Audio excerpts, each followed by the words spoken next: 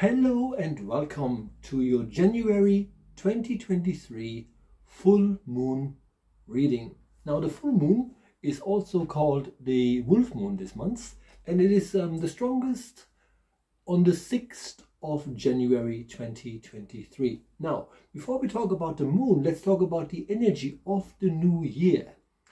2023 is what is known as a seven year because 2 and 2 and 3 is 7. 7 is the highest number of protection and healing. So what that means is that the energy of the new year is about harmony because 7 is also the number for Libra, which is the seventh sign. And um, Libra is a sign that, that um, favors or craves harmony more than anything else. So while the full moon is not in Libra, the number of seven um, is nonetheless super strong because it literally stays with us for the entire year of 2023. And because harmony is at the center of the energy of the new year, that's what we're all thriving for. And the full moon in January is actually in the sign of Cancer. Now, Cancer is the only sign within the zodiac wheel that is governed by the moon. So, therefore, in a weird way, the moon is at home. And it is also very close to Gemini's strongest stars, Castor and Pollux, which are also known or referred to as the twins.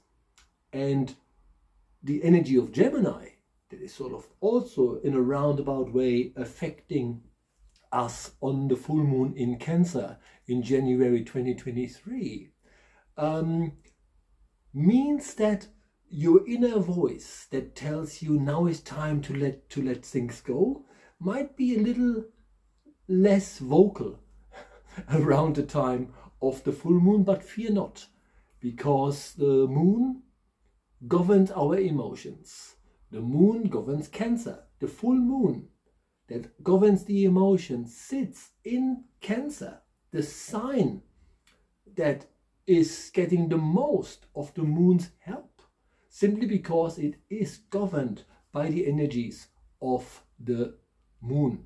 So, in short, in January 2023, the first full moon of the year, one of 13 actually this year, allows you to release allows you to let go and allows you to understand that holding on to things is not only harmful to you but totally unnecessary because of the energy of seven and the energy of the moon in the sign that is governed by the moon.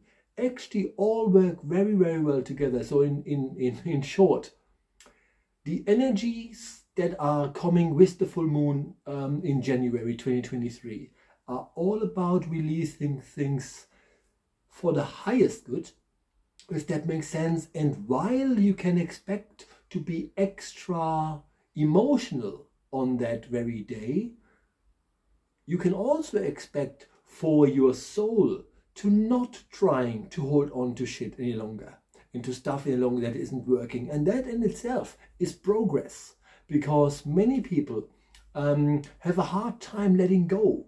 Sometimes, you know, guilt is, is something that people take on for no apparent reason, and all January, uh, the January full moon allows you to do is to not have these feelings of everything is your fault um, and all these sorts of stuff.